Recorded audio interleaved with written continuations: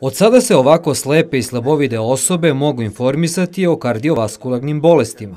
U Nišu je predstavljen prvi flajeg namenjen osobama oštećenog vida koji im pruža sve neophodne informacije o mediteranskoj ishrani u prevenciji kardiovaskularnih bolesti. Svi mi uh, smo uh, na neki način ozbiljni ljudi i možemo mi i sa drugim tehnikama da dođemo do tih informacija, ali ovo je jako zgodan način, može uvek da stoji na, na stolu i uvek da podsjeća na koji način treba da se obhodi i prema fizičkoj aktivnosti i prema ishrani i uopšte prema ponašanju u svakodnevnoj životnoj situaciji.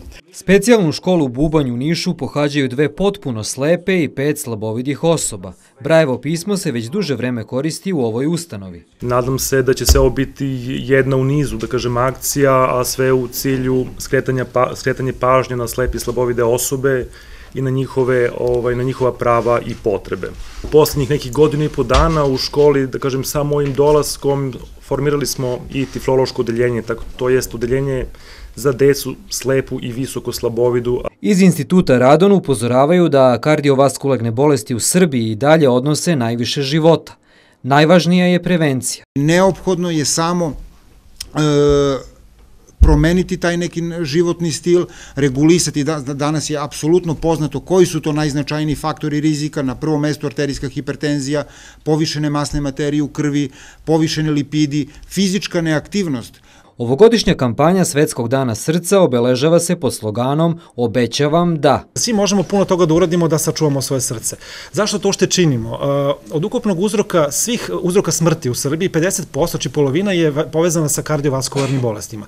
Od te polovine, polovina je akutni uh, sindrom srčani i uh, tu jeste problem veliki, ali istovremeno nas ohrabure 80% tih bolesti jesu preventabilne.